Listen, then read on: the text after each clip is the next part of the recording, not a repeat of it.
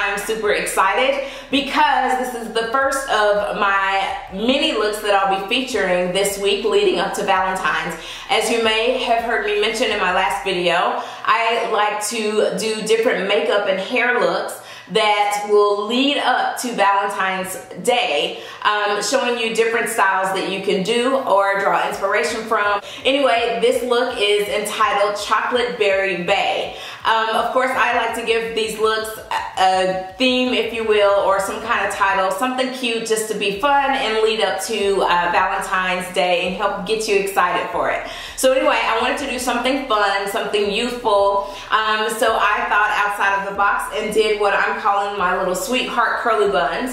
And I wanted to do something a little diva-licious um, but also keep it fun in daytime. So hence the eye and the lips. One of my favorite things to eat is like a raspberry chocolate truffle bar. And being that I just got this uh, shadow from ColourPop, it's called Drift, and that is what you see on the lower um, part of my lid. Um, I thought that this would be perfect to do something that reminded me of that dessert or that chocolate bar. So I hope that you will totally love this look. Stay tuned because I have looks coming all week long doing both makeup and hair. And as you may have heard me announce I will be straightening my hair this coming week. And so that will, video will be thrown in here along with my Valentine's look so definitely stay tuned for both curly and straight hair looks. I hope you will enjoy this video. Don't forget to give it a thumbs up and if you have not already I invite you to subscribe to my channel. Please subscribe to my channel. So anyway, I hope that you will love the look. Make sure that you comment below and let me know which is your favorite throughout the week and also if you love the look. I will talk to you soon and hope you enjoy the video. Until the next one, happy Valentine's Day. First things first, let's start with this hair. So my hair is freshly co-washed, so it's actually still wet. After I co-wash in sections, I actually bantu knot each section just to keep it out of the way as I move on to the next. I'm gonna take all of these bantu knots and twist down. And then using my rat tail comb, I'm gonna start the hairstyle, parting directly down the center using my nose as a guide. Um, for the most part, my part will be straight, but it actually, you will see, won't be perfect, but that is the great thing about this hairstyle. So I'm gonna start by working on the first section and applying my Koils by Nature Shea Aloe Moisturizing Leave-In Conditioner all over my hair. Um, I want to make sure that my hair is very well coated with the product, starting with the ends and then working my way up to the root. Then I want to make sure I knock out any tangles with my fingers. Once my hair is detangled, I will begin to use my hands to smooth it up into a nice uh, semi-high ponytail. But first, I must add my Mielle Organics almond oil all over my hair to add extra shine and lock in the moisture. Um, using my scrunchie, I'm just gonna rest it on my wrist while I'm smoothing my hand in my hair into a ponytail. First, I'll kind of knock out and help to smooth it and guide it all into a ponytail using my Denman brush. And then after that, I'll smooth it and make it look a little more sleek using my soft bristle boar bristle brush. Man, I said that hard. Soft boar bristle brush is what I meant to say. And then now I'm going to wrap my ponytail holder around only two times. Actually, three it was, since it's a smaller section. Then using my old toothbrush, I'm using um, the Argan Eco Styler Gel to smooth my edges down and then also sculpt um, to make it look like I have baby hairs. I want to have baby hairs so badly, but I really just don't have them, but I'm gonna fake it anyway. So then afterwards, I'm gonna take this hair and then um, roll it up now that I have both ponytails installed. So I rolled it up and then turned it on the side and then wrapped it around. This helps to give me height and volume within the bun. I don't want to make it too tight because I want the curls to make it look very textured. Now if you have shorter hair or just want more of an afro puff look, then it would be advantageous to brush out some of your curls so that they are not so defined and then it'll give you more of a textured look. Now, of course, I am loosely pinning with bobby pins to hold my bun in place and to help it shape the way that I want it to shape. And then pinning down any flyaways or anything like that. And that is what they look. I actually love, love, love these little buns. Now for the makeup. So I'm to start by moisturizing my skin with my Cetaphil lotion.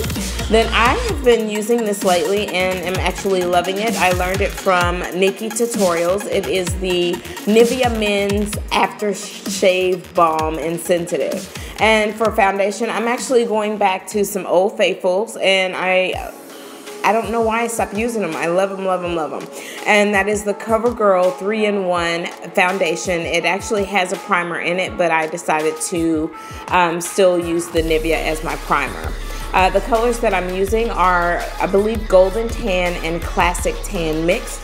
Mostly is a nice pump of the classic tan and then I put a couple of pumps of the golden tan small little pumps and then I blend it together on the back of my hand and then blend it using my off-brand beauty blender sponge to uh, just kind of put it in. What I really love about this foundation is it gives a medium to full coverage and you can actually build it up which is what you saw me do was layer it so that I could have more of a full coverage. Now for the brows, I have changed it up and I've gotten a lot of compliments from you all, so thank you. Um, so I wanted to make sure I filmed me doing my brows so that you can see what my new routine is. I've been using this uh, Anastasia Beverly Hills Brow Wiz pencil in the color Soft Brown. So I actually kind of fill it in. Of course, you can see that I get a little heavier in the um, outer portions of my brow and then a little thin in the inner portion. And then I carve it out as usual um, with a concealer. The concealer that I'm using is one by Sheer Cover Cosmetics. Um, I've actually been using this for a very long time to highlight my brows. And for an eyeshadow base, I've been using the NYX. Um, I believe the shade is Skin Tone um, of that one. So I did one eye off camera and now I'm going in to do the other one and then of course I'm applying the NYX eyeshadow base. To set my eyeshadow base or primer, I am using Mirage and Peach Smoothie by Makeup Geek, those shadows to kind of set. And then I'm following that up with the color Chickadee as my transition color in the crease using my M503 brush from Morphe.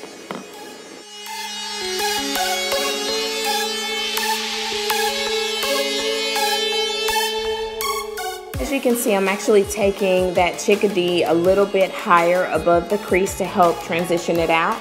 After that, I'm gonna follow up with Makeup Geek's Cupcake, Frappe, and then Cocoa Bear. Now, I'm working more of uh, Frappe and Cocoa Bear more so into the crease just a little bit above and below um, just to kind of help give me a more of a gradient effect and then as you can see cupcake is more has more of that little purplish tone um, which I'm doing this because I want to make sure that I get that warm milk chocolate with a hint of a wine color um, to help give me a gradient effect and then just making sure that I'm blending all of the colors very very well. So you notice that I'm actually still using the M503 brush from Morphe and you'll also notice that I'm actually dragging the color over into the inner portion of my lid um, and that is because I do want a bit of a dramatic eye and not for it to just be um, out to the side I guess. Um, I want to make sure that my eye is covered, my full lid, um, leaving the bottom half of my lid open and ready for the next color. Now I'm going to follow up with my Morphe M200 brush and I'm actually mixing uh, Mocha and Bitten, also by Makeup Geek, and I'm actually pressing that into and blending, I should say, that into the crease, and that is to give me more definition for that area. The key here is to make it look very well blended, but also defined in the crease. So you'll see me using windshield wiper motions to get that done. Now for the star of the show, my ColourPop shadow in the color Drift. I sprayed my brush with setting spray just to help give me more of a metallic finish. Then to help it look more intense, I actually used my finger to pat it in um, just to give me more of an intense color. Now to add a little more drama, I'm taking that um, blending brush just to add a little more mocha and bitten. Then on the outer corners, I'm taking Makeup Geek's Corrupt, which is a intense black just to help make it look a little more dramatic and well blended. To highlight my brow bone, I'm mixing Makeup Geek's Cosmopolitan and Shimma Shimma. To create my cat eye, I'm using my Kat Von D liquid liner in the color Trooper. I'm just going to create the outline of it and then I will go in and fill it in with my gel liner by Inglot. It's number 77 and it is the blackest black. I love it. I really prefer to use a gel liner just because I feel like I can control it a little bit better. Um, I'm still working on becoming a whiz at creating my cat eye. So bear with me. Now to drown out these dark circles, I'm going in with my all-time favorite NYX Dark Circle Corrector. And then over that, I will apply my Urban Decay Naked Skin Concealer in the color Medium Neutral. And as you can see, I went ahead and created my highlight as well as concealed. Now using that same blending sponge, I'm just going to blend all of this in using patting motions. Now for my contour, I'm using an e.l.f. brush that I picked up. I want to say it was like $3 and I really, really love that brush. To contour the perimeter of my face, I'm using my Wet n Wild Old Faithful. I want to say it's just a fluffy foundation brush, but I'm using my Morphe contour palette in 06F. And then I'm actually carving out my nose with my Morphe 173 brush. For blush, I'm using my LA Colors Mineral Blush. I mixed two colors, which are Spiced Rum and Very Berry. Now I'm going to set everything and blend it all in using my NYX Set It, Don't Fret It. And then I wanted to go ahead and intensify my cat eye, as you can see. And this has made all the difference with my brows. This is the e.l.f. Brow Gel. It's only $1. You can get it at Target. And before I apply my false lashes, I'm going to tightline my eyes and then put on mascara.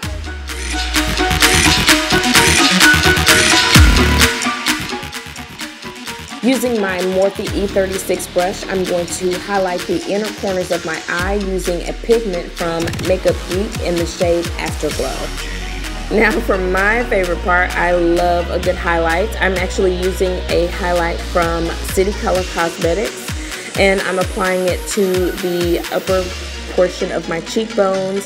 Um, I'm going to go pretty intense for the highlight.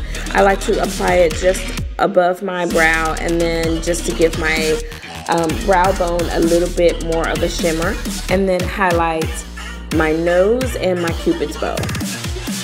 Then I'll set it all in place using my NYX Dewy Finish Setting Spray. For my bold milk chocolate lip, I'm using the shade Pitch, which is a ColourPop lippy stick. And then in the center to highlight it and give it more of a gradient effect, I'm using my Glazed Lip Paint by LA Girl in the shade Whisper. I actually lined my lips with the Lippie Stix pencil from ColourPop in the shade Ellery, but somehow I didn't get it on camera. So anyway, this is the final look. I hope you love it. Don't forget to rate, comment, and subscribe. Thanks again for watching, and I wish you a very happy Valentine's week. Definitely stay tuned because I have more Valentine's week looks coming up. I'll see you in the next video. Don't forget to subscribe.